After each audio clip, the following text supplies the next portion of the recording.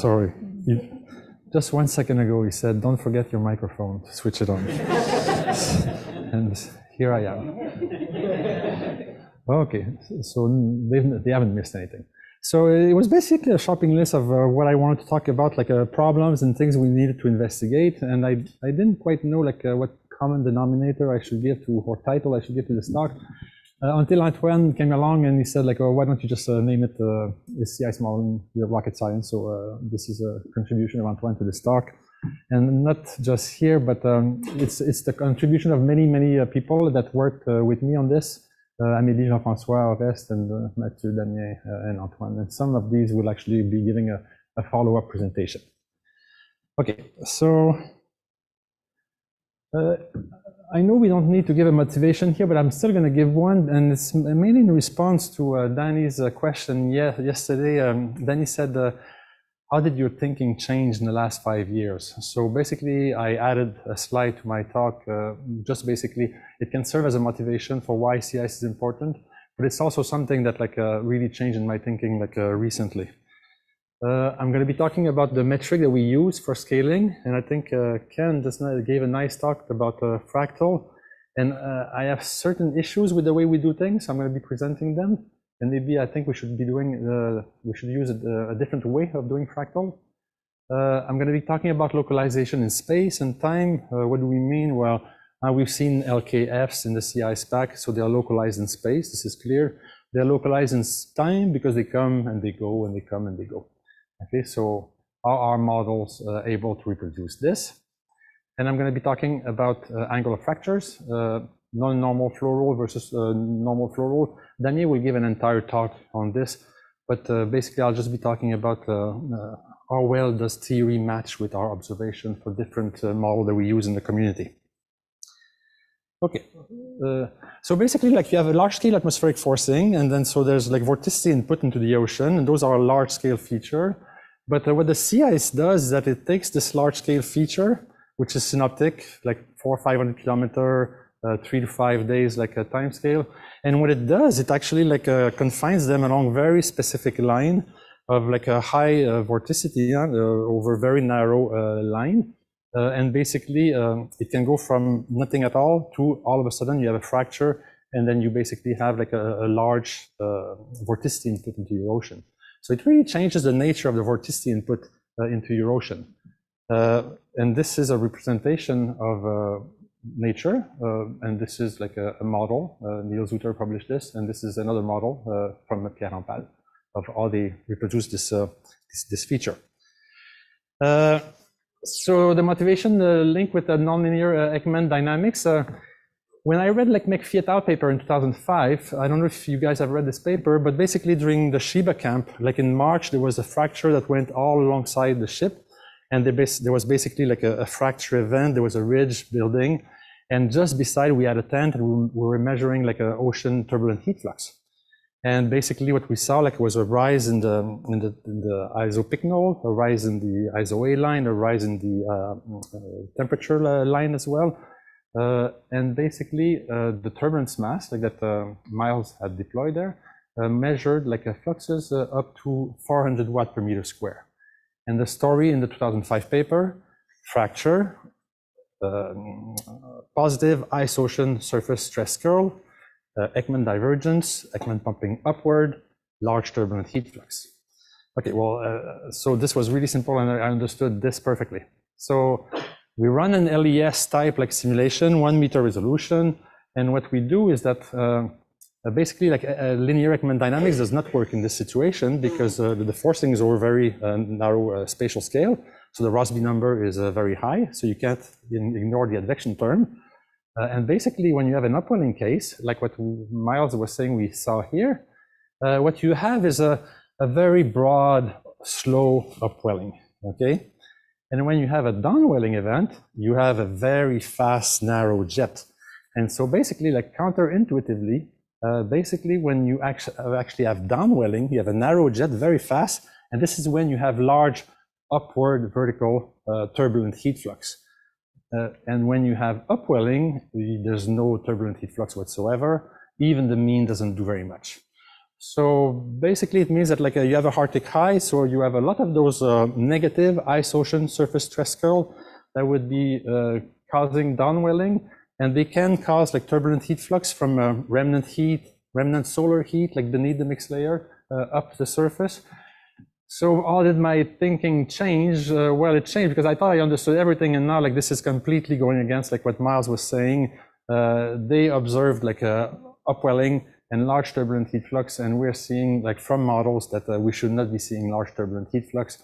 Uh, was it something that came naturally at the Sheba camp that was coincident with this event?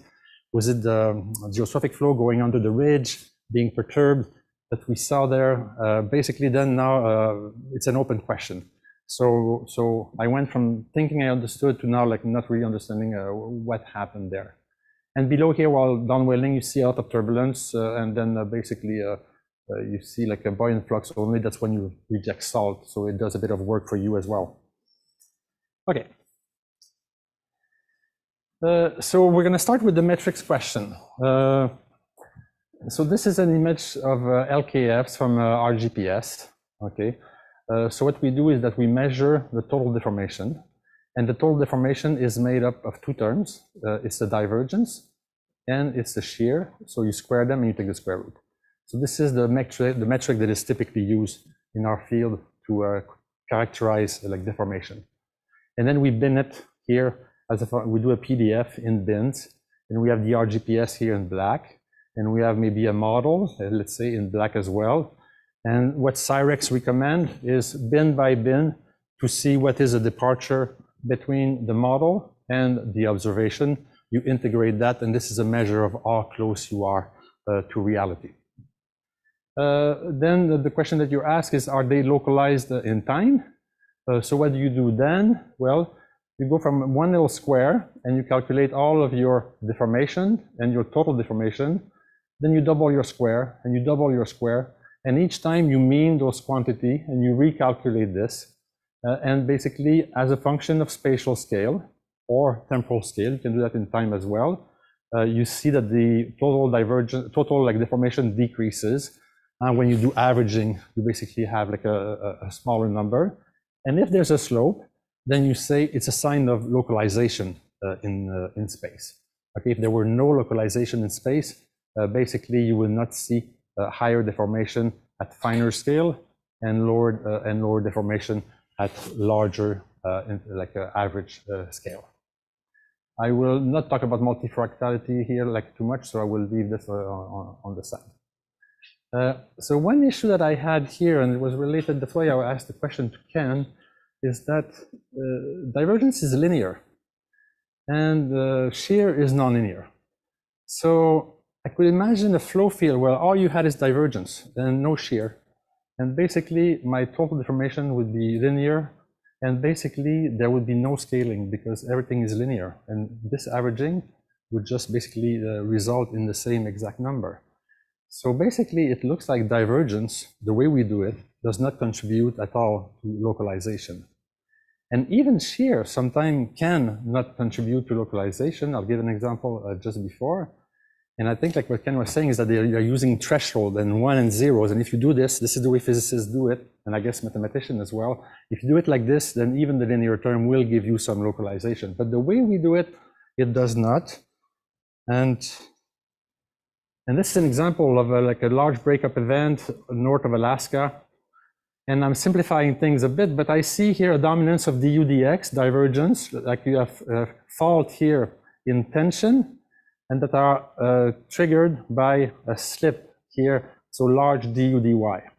So basically du dx, du dy dominating my field, which means that my shear now and my uh, divergence both are linear. So I would argue that a field like this would not give you localization uh, in space because both terms are linear and the way we do things, it would result in, the, in no slope.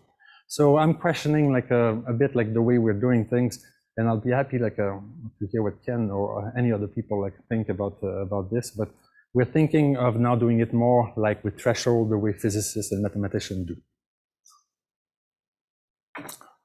Okay, so uh, localization in space and time. So the key ingredients. So there was a very nice article by Weiss and Dansereau here that was published recently.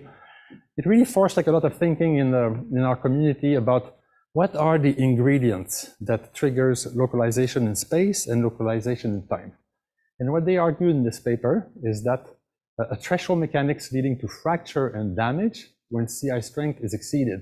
So a yield curve, when you read the, the yield curve, you have fracture uh, and you have some form of damage, okay? And of course, after you deform, and if you deform and you have divergence, the concentration goes down, the thickness goes down, and these are all amplifying factors here, okay? That could cause like a, a stress decrease. Uh, you need long-range elastic interaction that carries local fracture to larger scale.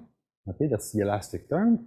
Uh, a viscous stress relaxation after the fracture, and a healing mechanism that is slow compared with the elastic stress redistribution. Uh, that's responsible for the intermittency. You fail, you deform, but you heal. And then later there'll be a memory through the thickness and concentration field. You will be more likely to fail there if the wind picks up again. Okay? Oh. Uh, that's what I said here. Okay, so there was a very nice paper by uh, uh, Amélie Bouchat uh, in 2002, the SIREx-1, and Niels Hutter will be presenting SIREx-2 like uh, later in the afternoon, like he's in uh, Washington, I believe. Uh, but basically, 35 different runs, I believe, all rheologies, like um, MEB, EVP, VP, EAP, like you name it. They were all there. And basically, uh, they did an exercise where they ran for two years and calculated the deformation. And the message we get from this is that every single model, irrespective of their physics, have uh, scale like localization in space. Okay? So they have a scaling. So the slope changed sometime, but if we look at those models with which have like the correct resolution, uh, we are comparing against RGPS data, 10 kilometer, three days average. Okay, so basically a finite difference model needs six, seven grid point to resolve a discontinuity. So you need a model of one, two kilometer resolution. If you take those at high resolution model, there's uh, four or five of them, four, and you look at the arrows there, and basically they have also the same slope as the RGPS, which is shown in black here. So the green here is neXtSIM. Uh, you see here the red is uh, the or FISM. I can't read the color those two basically you can't even see them they're beneath like the black line okay so basically uh, those four model MIT GCM at two kilometer FISM, REUPS, uh, and neXtSIM all land onto the correct uh, slope according to RGPS. Okay, so basically, is this putting in question the criteria that I just presented in the previous slide? Or is the fact that we're still limited? We're at three days temporal frequencies. Okay, so this is always like a, a, um, a limitation we need to keep in mind once we have one day and 12 hours, are these uh, models still be able to reproduce like what the observation show? But so far, at the resolution we have, with the data we have, basically uh, all models have spatial localization and temporal localization is so ubiquitous that it really makes you wonder like uh, whether it doesn't just come from the atmosphere. We're down now to saying we're going to run our model in free drift and we're going to do this analysis and see if we have a slope do we have like a intermittency just in the forcing? And basically that's where it comes from. That's where we're down to because we see it so widely, so profoundly, so everywhere. Okay. Uh, so basically one common thing that you need, like that all those models have, and that I believe, but even that, like we haven't shown it, but one thing that's common is that you, there's a threshold and you go from small deformation to large deformation uh, rapidly, and there's a threshold. And this threshold can be anything because any model actually uh, reproduces it. So in the MEB, the small deformation are elastic, just like the real world. Uh, the plastic deformation are simulated as viscous, and you go from small to large. In the E or VP, uh, those are highly viscous, the elastic deformation. The plastic deformation are plastic, and uh, basically uh, the strain weakening, but sometimes it's also hardening. And like once you have a deformation, it's done uh, in the MEB with a damage. So it's an initial damage that causes the fracture to propagate. And later on, it feeds into the thickness and the concentration field because you can have divergence. And in the uh, VP, it's done only through thickness and concentration. Uh, but uh, we can also put damage in a VP model. And uh, this is like my little reminder in purple here on the top left. This is Antoine who's going to give a presentation on uh, titled, I believe, um, damaging the, the, viscous plastic model. So how do you include a damage parameter, a parameterization? But the bottom line is that uh, we know damage exists and we know damage dice is weaker. Uh, it's a very powerful scaling parameter. It's very sensitive. It's like a, it's like the sea ice albedo for an Arctic uh, climate, climate uh, scientist. Right? It's like you change that the way you do damage, and you can have any slope uh, you want. It's a very very like a powerful uh, diagnostic, and but it's not one that's based on physics. It's one that we, we know exists, and we've put a formulation to actually include it. Okay. So uh, we're coming back to this. So threshold, yes, like a yield curve, yes. Uh, damage, no, it's not necessary, at least at the scale of the RGPS, three days, 10 kilometer. Uh, long range elastic interaction, no, you don't need that. But a viscous plastic model, like the viscous part, the deformation are so small, it's eight orders of magnitude smaller than your typical RGPS deformation. Okay, so basically it's an ideal plastic material. There is no elastic part in that model. And when you solve for the plastic, uh, for the deformation, you, have an iterative solver and an, an, implicit solver. Basically, in that solver, uh, you are resolving those long range uh, like communication because you're iterating to convergence. It fails here, and you iterate until you see a nice long line. These things just occurs instantaneously in a, in a VP model, basically. Okay. But the bottom line is that uh, we, you don't need elastic uh, deformation with the scale that we have in RGPS. Viscous stress relaxation, there's no, there's no such thing in VP model, uh, and they show like the same uh, scaling laws. Uh, healing mechanism, there is in the VP, there is in the neXtSIM, there is in all model. So does it mean that it's necessary? I'm starting to think that we need to test that as well. Uh, and I'm, i said we're going to run the model in free drift and see if we see some localization in time, basically. Okay. Okay, so there's also a, uh, a dependence uh, of, um, of those scaling law uh, on the on poorly param on poorly like constrained like a mechanical strength parameter, compressive and shear strength. We're used to seeing the ellipse, the uh, ellipse aspect ratio of two, uh, but some people have made it like a little fatter, less fat. And basically, like uh, we don't have really data like to constrain those things. And when you do change those things, your scaling law uh, uh, changes quite uh, drastically. And we're showing this here only at 10 kilometer. Uh, at two kilometer, there would be a much more like a, um, it would be more much more dense in LKF. at two, at 10 kilometer, it's less dense, but but you see the pattern here. when you decrease the compressive strength, okay, you have more of those LKF compared to when you have a large compressive strength. And this is simple to understand, it's weaker. If it's weaker, it's easier to deform and you see those lines. Same thing when you decrease your thickness. Niels Hutter in his paper 2018 showed that when ice is thinner, the scaling is more steep, more localization of fracture. Uh, the shear is exactly the opposite. When you increase shear, you get more localized deformation. Uh, why is that? Well, it's because uh, basically um, it takes forever to load the, ice to the point where it will fail, but once it fails, huge release of this, like all this uh, stored energy, and you're gonna have very active uh, shear lines. So the way to get uh, the way to get like a um, localization in space is to increase shear or to decrease compressive strength, and then you can look at your thickness field and which one gives you the best uh, match with the observational data, and you can decide. Amelie had decided that uh, we needed to increase shear, not decrease compressive strength at 10 kilometer to match the observation in terms of thickness.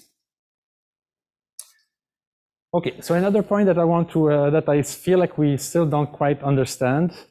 Uh, this is a picture by uh, Neil Hutters, 2018, and this is basically Neil's like uh, developing an algorithm and tracking all of these points and linking them together, even when there is gap in between. He has a strategy to actually uh, decide whether they, they're part of the same feature or not.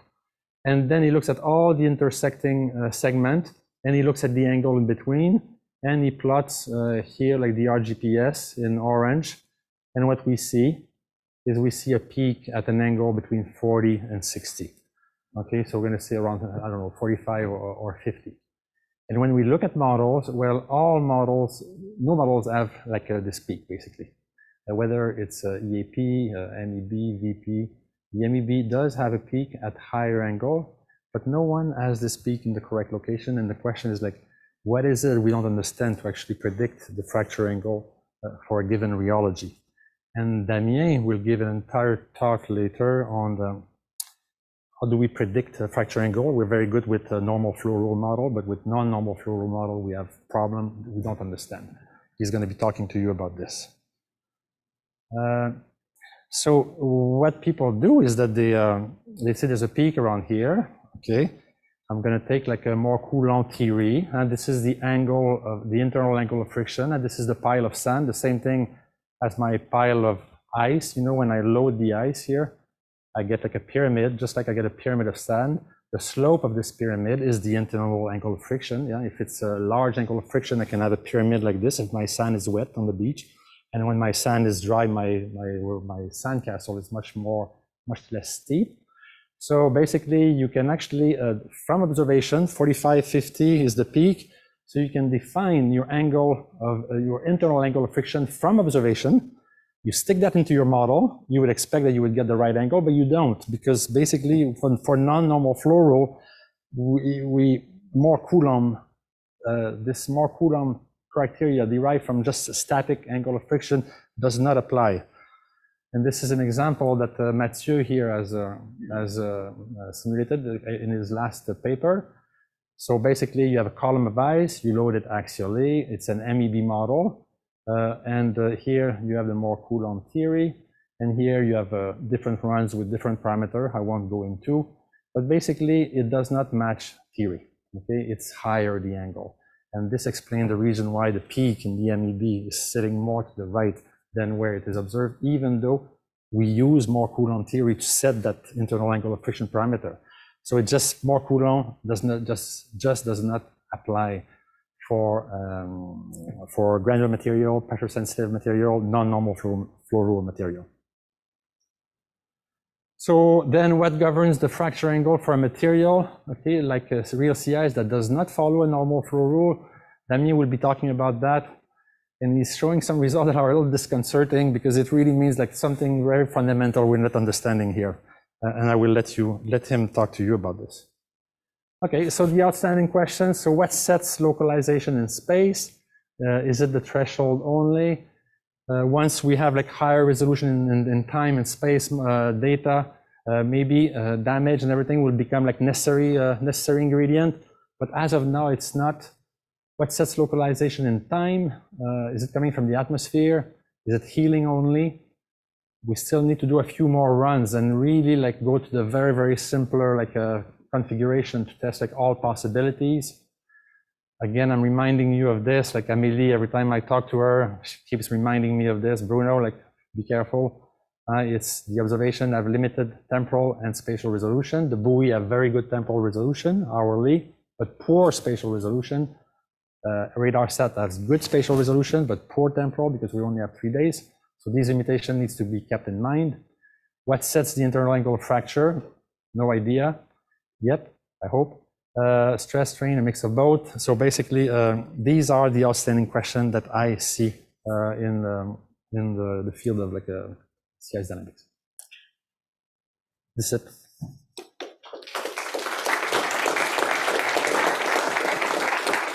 Mm. Yeah, thank you, Bruno. Are there questions? Yes. Maybe just wait a tiny bit. Is there anybody else who wants a question first? Oh.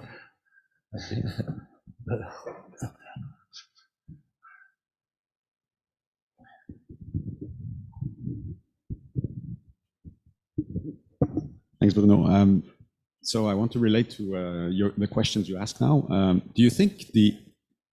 Do you hear me well? Louder. Yeah, a bit louder. Okay. Do you think the Arctic Ocean, with uh, the observations that we have now, is a good laboratory to answer these questions, or like, could we go as well as small scale? As you know, I'm, I'm, I'm Okay, you're asking me because you're on the microphone for other people, but uh, I, I'm not hearing you. So, oh. uh, so you're saying like a uh, observation technologies we have now is a good laboratory for answering these questions. Like in terms of uh, well, we need a large spatial scale. Uh, we couldn't go in the fjord in, uh, in Maine and do this or on the St. Lawrence. We need a spatial scale. and we need a temporal scale. So I would say, yes, we need to go there. I mean, uh, RCM, uh, like the RadarSat uh, constellation mission that Canada just launched, and then like there's also the Sentinel. There's a possibility there to go like from three days to one day. That would be like a step in the right direction. Uh, and uh, I believe, I mean, radar can go down to 200 kilometer, but people tend to say, no, we're going to give you a product at 10 kilometer. I'm not an expert in that. I, am always wondering, can't you give it to us like at, at uh, five or four or three kilometers? Uh, maybe someone in this community could answer this question better.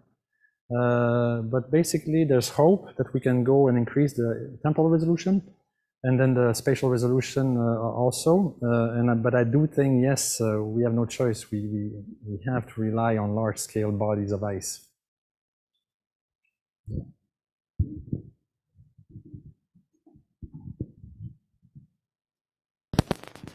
Oh, oh that.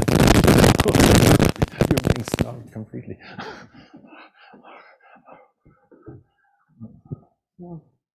You said you want um, the large-scale bodies of ice, but with the sea ice, and it seems is, is the case, has some self-similarity across the scales. Like if you do a lab test, you still see the same kind of patterns that you see in real life. Do you think there's no way to use those more, more like engineering type hmm. models or Okay, well, uh, yeah, you got me there. Like it's true if it's a similarity of scale. What I would say, well, because uh, when they go in the lab and they put like a glycol into their eye, so it makes it weaker because you want to respect some scaling laws. Like, um, so I don't know like how, how, how accurate like all the all the non-dimensional parameters are respected when into, when you go into the lab. Uh, I've never done lab work, but my discussion with a few people said that you can match a few non-dimensional parameter, but not all of them. So I would see that as maybe an issue, but uh, it sounds like a good idea. And like, uh, yeah, like uh, there's there's ice tank in Newfoundland, Canada, like, uh, and I, yeah, maybe like uh, we'll think about that more, and I'll I'll get back to you. Thanks for sharing.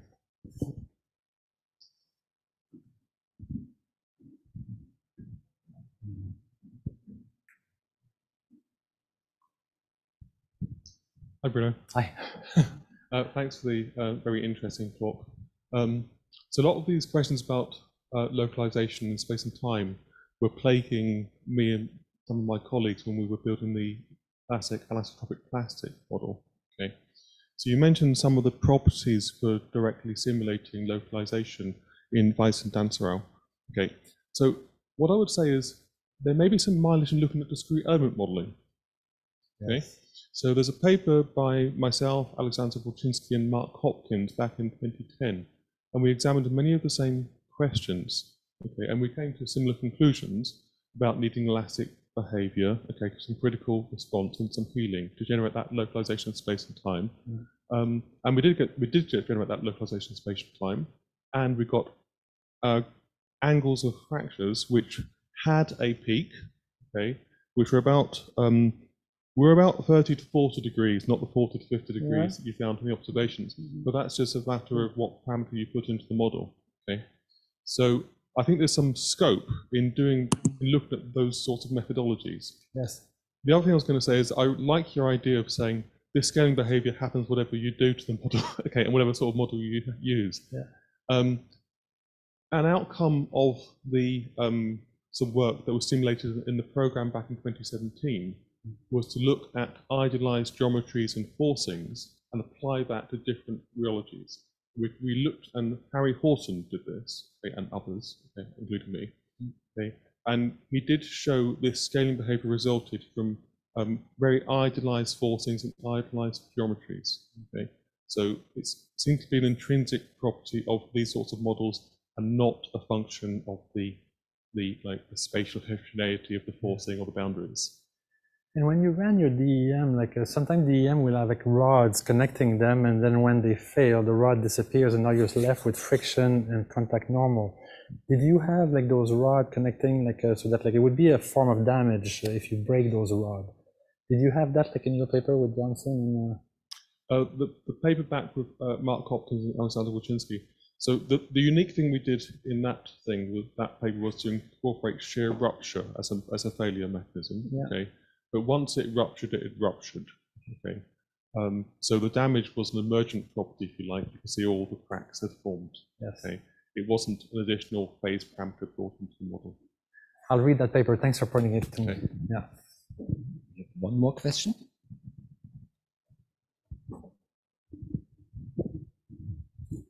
This is not so much a question for Bruno, but just a, a comment that it, it seems like this issue with the remote sensing observations being limited in time and the buoys being limited in space is perhaps low-hanging fruit for somebody applying machine learning or some other techniques to try to fill in that data. Uh, you think with all of the buoy data or uh, that we have, like in, uh, or you're thinking Use more from- whatever you've got. Yeah. So you just throw it, throw everything at it. But can can AI invent stuff that doesn't exist in the data? Okay.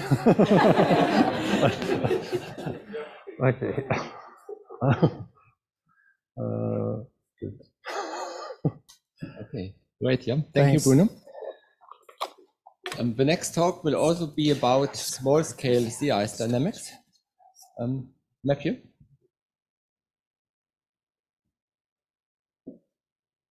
Have you actually answered the question that you raised in your title? Uh, sorry? If you answered the question that you No, no, I've just raised. title? I just raised question. I did not. No, no, no, I was not here. Like Danny uh, tasked us No, to. about uh, the rocket science. Uh, yeah, it seems like uh, since we don't understand those simple things, it looks like uh, it's a bit of a yes, if I understand the expression correctly.